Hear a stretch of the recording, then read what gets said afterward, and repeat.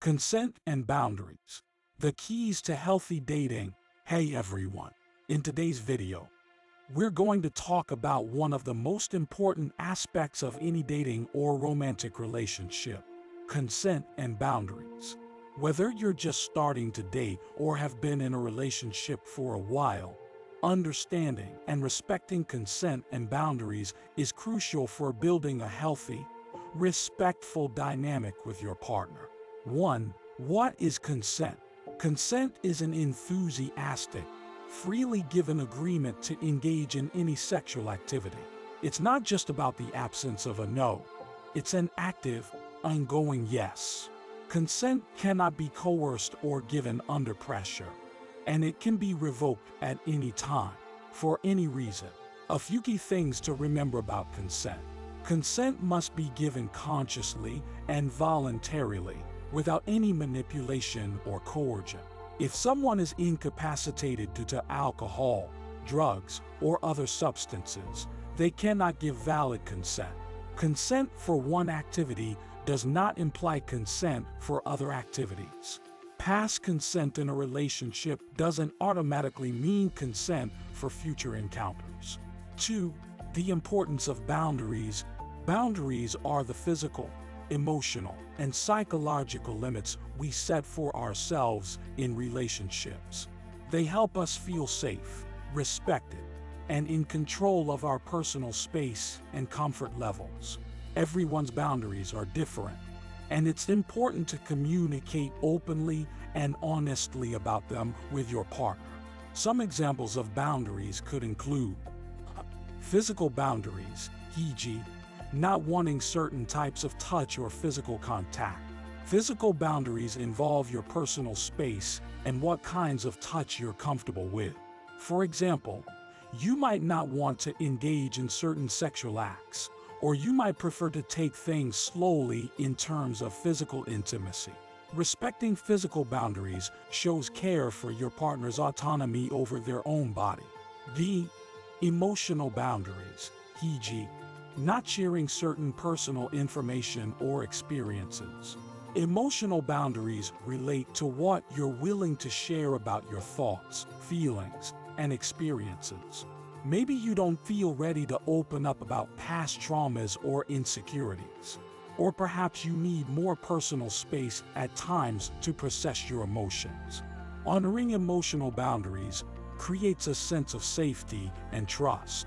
See, Digital boundaries, e.g., expectations around texting, social media, or sharing explicit content. In today's world, digital boundaries are increasingly important.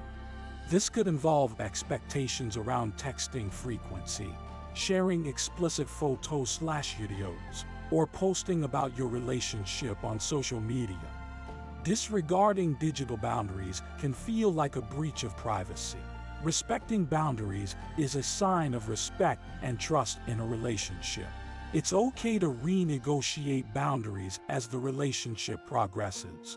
But both parties should feel comfortable and never pressure. 3. Communicating consent and boundaries. Open, honest communication is key when it comes to establishing and maintaining consent and boundaries in a relationship. Before engaging in any sexual activity, have a clear, sober conversation about boundaries, limits, and what activities both partners feel comfortable with. Check in regularly throughout the encounter to ensure ongoing consent. 4. Nonverbal cues matter. While verbally expressing boundaries is ideal, it's also crucial to watch for nonverbal cues that could indicate discomfort, fear, or lack of consent. These include pushing you away, going rigid or tense, avoiding eye contact, looking distressed or upset. If you notice these signs, stop what you're doing and check in compassionately. Never try to power through or ignore them. Remember, consent and boundaries aren't just one-time conversations. They should be an ongoing dialogue throughout the relationship. As trust and intimacy grow, boundaries may shift, but it's important to keep checking in and respecting each other's comfort levels. If you ever feel uncomfortable or unsure, it's always okay to pause, slow down, or stop altogether. A caring partner will respect your boundaries without question or pressure.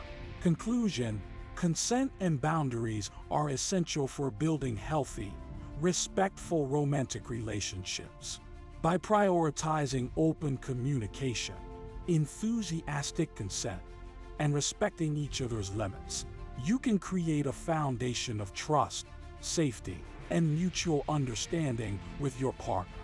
Remember, consent and boundaries aren't just about avoiding legal issues or assault. They're about fostering an environment of care, respect, and empowerment for everyone involved. So, keep these principles in mind as you navigate the dating world. Prioritize your comfort and well being, and don't be afraid to advocate for your boundaries. A relationship built on mutual respect and consent is a relationship worth having. Thanks for watching. Please do not forget to subscribe, and I'll see you next time.